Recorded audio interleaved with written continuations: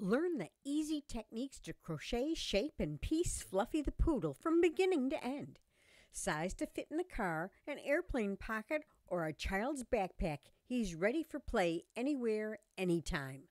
Plus, he doesn't bark. And for poodle lovers everywhere, he makes a delightful and heartfelt Christmas or desk ornament. Whether you choose bright colors or a traditional doggy palette, his buggy eyes and pleasant smile will surely capture the hearts of many. He's simply adorable. The companion pattern is available by following the link in the description below. So let's begin this crochet adventure right now. So we're going to form a slip knot and chain two. One, two. In the second chain from the hook, we're going to insert our needle. However, we're going to take the yarn tail and wrap it around our hook so that we're actually going through the chain and under the yarn tail. And we're going to complete a single crochet. And we're going to do eight more single crochets so you have a total of nine single crochets in that same stitch we're going to continue around this row and begin our spiral with a single crochet in each one of the stitches of the row below. The next four rounds combine decreases and increases to shape the paw. Make sure to work all shaping decreases under the front loops of the stitches below as this removes the bulk of the decrease. Work increases under both loops of the stitch below.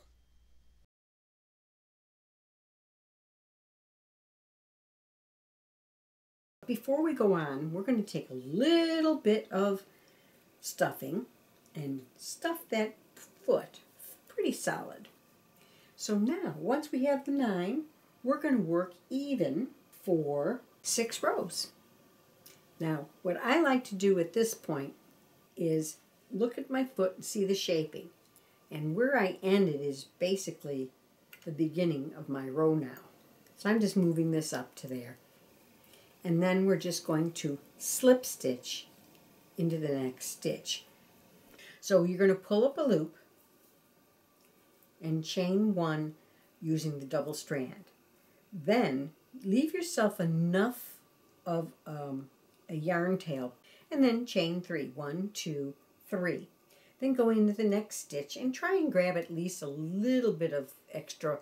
I grabbed two loops on this one here and I'm just going to pull up a loop and do a single crochet, chain three. And you're just going around the leg. Now because it's a spiral, you have to kind of adjust because you want to keep it even. Once we have the first row on, you see how that's fluffy? You want to add a second row so that you get more of a puffy. As you finish your legs and you pair them up, you want to sew them along the center three stitches. So now we're ready to put the belly into place. So what we want to do is find the back set of legs, face them forward away from you, and we're going to count and find the last stitch that was sewn together. And you can see that this was the stitch right there. So this one and this one are the connected stitches.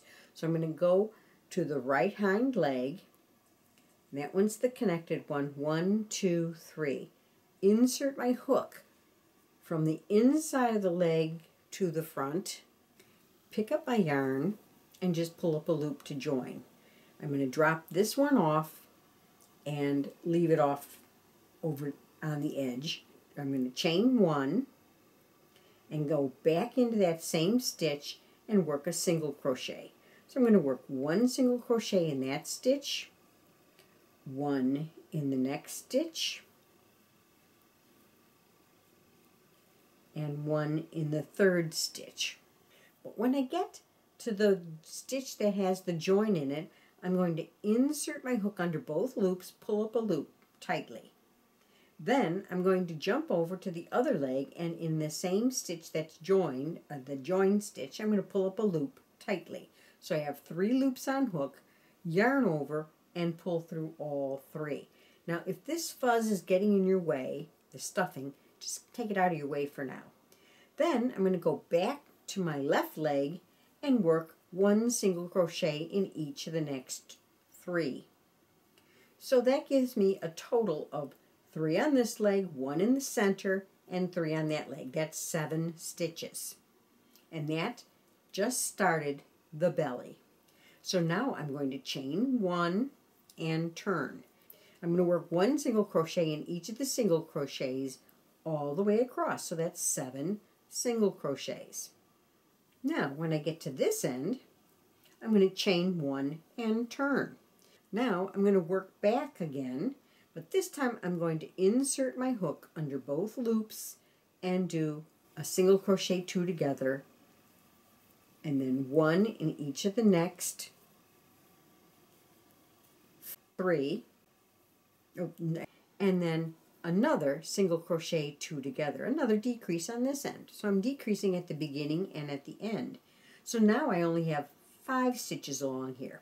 Chain one and turn.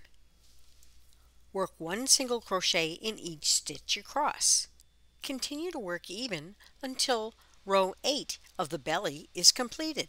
Align and center the back edge of the front pair of legs to the last row of the belly. Insert the hook through both thicknesses and slip stitch in each of the five stitches to join the belly to the front legs. This is what it looks like from underneath. And so we have the two front legs, the two back legs, and the belly. I'm going to mark the center stitch on the back end. Okay, so I'm going to chain one, one single crochet in each stitch around the fronts of the legs. When you get to the front join between the legs, you're going to treat it just like you did on the back legs. You're going to insert your hook, pull up a loop, and insert and pull up a loop in the next stitch. Yarn over and pull through all the stitches. Now I'm going to work one single crochet in each stitch until I get to the belly. I'm going to continue down the side of the belly right here. So I'm just going to work one single crochet in each of the edge stitches.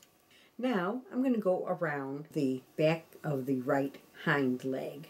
At this point I'm at the center back. So I'm going to continue to work a single crochet around each of the stitches of the back legs and then one single crochet around each of the edge stitches along this side of the belly and we're back to where we started. This is what it looks like from above. I'm going to mark that center back again. And so we're going to continue to build up this part of the body. Now, count all the stitches in this row. I targeted 36. So after this row, you want to have 38. So this is where you adjust. If you have too many stitches, you just leave it alone or bring it down to 38. If you have less than 38, you bring it up to 38 by increasing and shaping, adding shaping to the back, the buttocks of the, um, to the dog butt. I know it sounds funny, but that's where you add it to add shaping. Okay, so now we are getting around the back of the dog, but he already has enough shaping back there, so I'm not going to worry about it. So we just completed row two because row the row always starts and ends right at the junction between the left front paw and the belly. On row three, we're going to do two things. We're going to decrease on this side and decrease on this side. Just one, just to give it a little more shape. That brings in the belly a little bit more. Finished my row four, which is my work even row. I'm going to fold this in half right like this. I'm going to say one, two, three. This identifies the start of the center six at the back. At the front, we're going to increase two, and at the back, we're going to decrease three.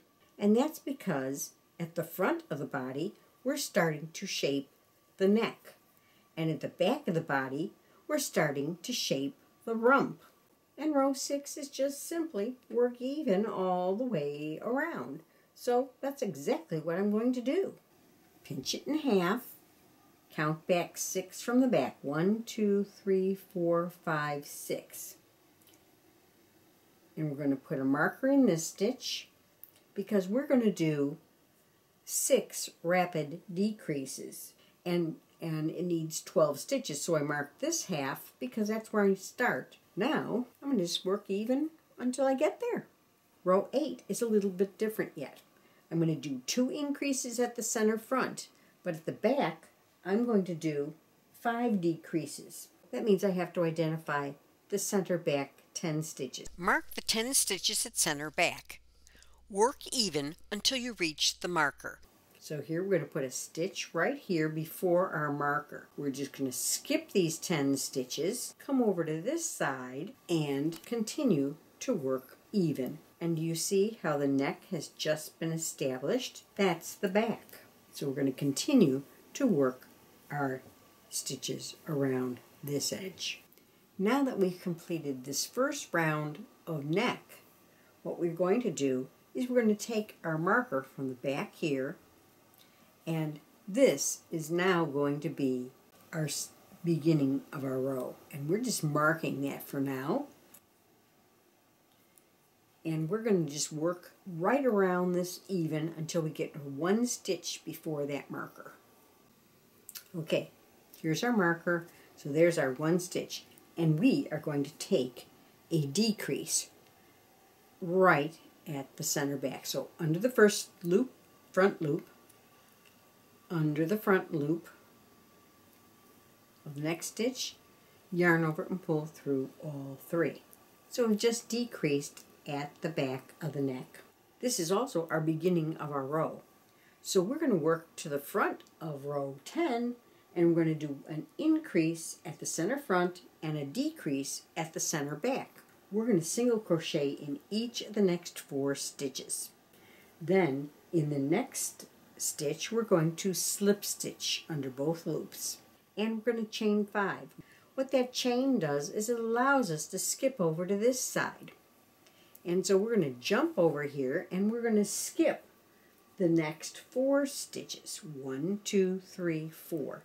And we're going to slip stitch into this stitch right there. That's a slip stitch. And then we're going to work a single crochet in the next four. And we have one more stitch before, and here we're going to do a decrease. If you want to know what I just did here, we have this chain. That chain is just going to be pushed inside and made part of the stuffing. What we did was we built up this back of the neck and shaping the neck to lean forward. In the next two stitches, we're going to work a single crochet in each of the next two. We're going to slip stitch in the third. We're going to chain five skip over to the fourth single crochet from the end. And we're going to do a slip stitch there. One single crochet in the next two. And then one decrease at the back of the neck. All we're doing is doing what we did on the last row. And we can cut our yarn. Leave yourself a, a good length I'm going to slip stitch into the next stitch to finish that off. Now I'm going to secure that end just like I did all my other ends and this is the time where you stuff the body and the neck firmly. Now do you see what you have? You have the shape of the angle of the head, the neckline is angling, and the back rump has been made. Form a slip knot and Chain 2 to begin the head. Insert the hook in the second chain from the hook. Wrap the yarn around the hook as we did before and work 8 single crochets into the chain and under the wrap. Mark the last stitch as the beginning of the round. This also marks the lower jaw. The opposite side is the front of the face. This information is important for shaping the head. We're going to work all the way over to the front of the face and we're going to work an increase in the front of the face. Now, as you know already, an increase is worked by doing two stitches in the same stitch. So, when we get here, we're going to work two stitches in that stitch. It doesn't matter whether you do it in this stitch or that stitch. It matters that you get it on that side because the shaping takes form. Anything else gives personality to the little creature. Okay, now we're back at the beginning of the rounds. That's why I marked it. Increase at the front of the face and at the lower jaw on rows 3, 6, 9, and 11. Rows 4, 5, 7, 8, and 10 are worked even. Before we go any further, I'm going to pull this yarn tail through to the front and the outside of the nose, right through that center part right there. That's just so that I can weave it in later because I, it is not tight yet. Beautiful. Now we finished that round. See how his face shaped up really nice? Now, on row 12, we're going to work four increases evenly spaced. Increase that flares out the back of the head just a little bit. Now we're going to work even one row. We are at the end of our round. Just so you see, if I flatten it out, you can see the shaping that we've been doing. And this is important. Now we start the decrease sequences. Now remember, when we do the decreases, we're going to do a single crocheted two together, but under the front loop only. That's one, two, three loops on hook, yarn over, pull through all three. Then we're going to work a single crochet under both loops. Then we're going to go back to doing a decrease. Pull up a loop in the front loop only, pull up another loop in the next front loop, yarn over, pull through all three, and then in the next stitch, insert under both loops and do a single crochet. And we're going to alternate the decrease and the single crochet until I have about eight stitches. Then I'm going to slip stitch under both loops of the next stitch and I'm going to break my yarn. That leaves me enough room to stuff the head and draw it up. If I had worked all the way down to fewer stitches, it wouldn't be a flat back of the head. It would be pointy. And there I have the back of my head. All done, but I want you to see the shape of it. See how nice and flat? It's rounded slightly, that's perfect. But do you see how the shape of the head? And of course this is the lower jaw, so this is where the eyeballs will go. And you need a little brow. That's why we increased four on that last round. Okay, so I'm just going to weave in these ends. We're going to form a slip knot, leaving about a six inch yarn tail. Then we're going to chain six. In the second chain from the hook, we're going to work a single crochet and in each of the chains along the way. So that'll give us one, two, three, four, and five. Now, this I consider is the foundation row because I'm going to chain one and turn. Then I'm going to work one single crochet in each of the single crochets until the last single crochet in the row.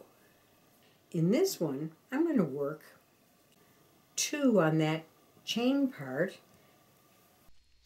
and three more in the tip. That would be five altogether. That makes four. Here's my fifth one. And that's the last stitch on the row. Then I'm going to go and work under the base of the foundation row and work all the way up to the end of the row. What we now have is the ear, the basic ear. But, we have to add fluff to the ear. So what I'm going to do is I'm going to slip stitch one stitch over just to reposition my hook. And I'm going to start covering the stitches. I'm going to chain four to start. That is one that counts as a single crochet and three chains that are just the chains of the fluff. So then I'm going to insert my hook under an adjacent stitch, pull up a loop, and complete a single crochet. Chain three.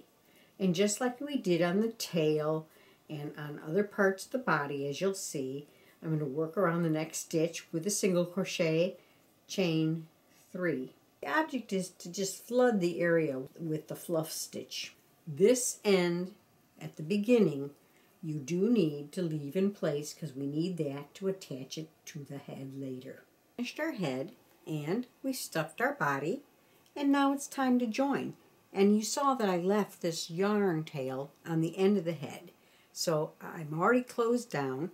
I, I left the marker on the head. That's the lower jaw, if you recall.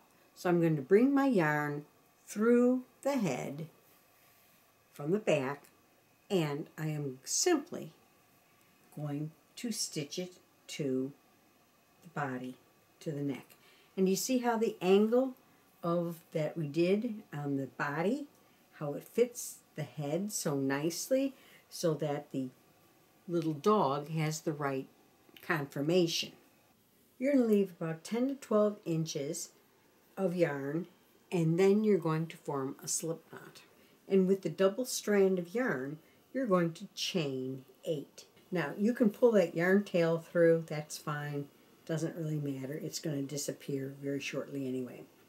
So once you have your chain eight with the double strand, you're going to roll that chain over and expose the third loop on the back. That's where you're going to be working across this entire row. Then with a single strand, you're going to start in the second chain from the hook and slip stitch under that third loop. And you're going to slip stitch under each of the stitches all the way to the end. Now, you want to do it firmly because that difference between the two thicknesses of yarn and the one thickness of yarn will help the tail curve forward. Okay, once you get to the end, you're going to cut and leave yourself, oh, about a six to eight inch yarn tail. This yarn tail at the beginning yarn tail, that's at the tip, you're just going to trim it off because that's going to go away very shortly anyway. With sport weight yarn, slip stitch right at the tip of the tail and chain 4. Work one single crochet, chain 3 in an adjacent stitch to form the fluff stitch. Continue to work the chain 3 fluff stitch until a pom-pom is formed at the tip of the tail. With the tail curving forward, stitch it into place with the yarn tail. Then Using the same yarn tail, sew the opening on the back closed. With the yarn tails from the ears, stitch them into place. Mark the zones where you want to add the chain 4 fluff stitch. In this case, we are adding it to the top of his head and the chest and shoulder area. It is done the same way that the chain 3 fluff stitches worked, but it is a deeper pile. Simply attach the yarn and chain 5. This represents a single crochet and chain 4. Then work a single crochet chain 4 in an adjacent stitch in the zone and repeat until the zone is filled.